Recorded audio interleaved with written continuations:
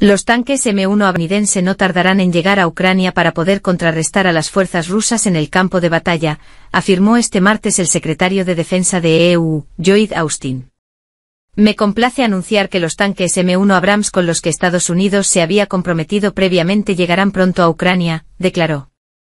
Juntos le estamos dando a Ucrania lo que necesita, cuando lo necesita. Juntos estamos enviando a Ucrania la asistencia de seguridad que necesita para la contraofensiva actual, dijo Austin durante la 15 grados reunión del grupo de unión del grupo de contacto de defensa de Ucrania.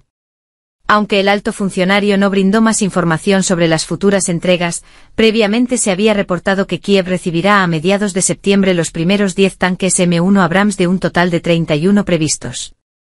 Según personas familiarizadas con el asunto citadas por Político, los carros de combate ahora están en Alemania en proceso de modernización y tras ello, serán entregados a Ucrania. A mediados de mayo, la prensa estadounidense informó que cientos de militares ucranianos empezaron su formación en Alemania en el manejo y mantenimiento de estos vehículos de